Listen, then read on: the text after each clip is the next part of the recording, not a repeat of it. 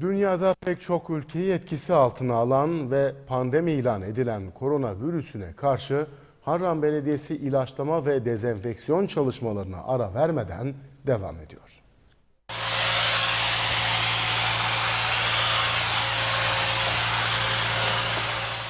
Harran Belediyesi Çin ve İtalya'da etkisini gösteren koronavirüs hastalığına karşı alınan tedbirleri arttırdı.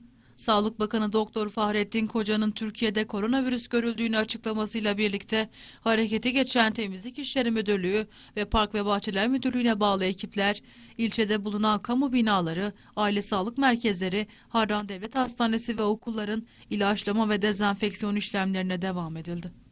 Çalışmalarını sıklaştıran ekipler bugün de ilçe genelinde dezenfeksiyon çalışmalarının yanında cadde ve sokakları yıkayarak ilaçladı. Harran Belediye Başkanı Mahmut Özyavuz, Harran Belediyesi olarak koronavirüse karşı tüm ekiplerimizle gerekli tedbirleri ivedilikle aldık. Hazırlanan dezenfeksiyon solüsyonu ile 4 kişilik bir ekibimiz başta kamu kurumlarımız olmak üzere aile sağlık merkezlerimiz, pazar yerlerimiz, cadde ve sokaklarımızda ilaçlama çalışmalarını gerçekleştiriyor. Başlatmış olduğumuz ilaçlama ve dezenfeksiyon çalışmalarımız virüs tehlikesi geçene kadar hep devam edecektir. Vatandaşlarımızın sağlığı bizim için her şeyden daha önemlidir. Bizler sizler için dışarıdayız. Sizler de lütfen evinizde kalınız dedi.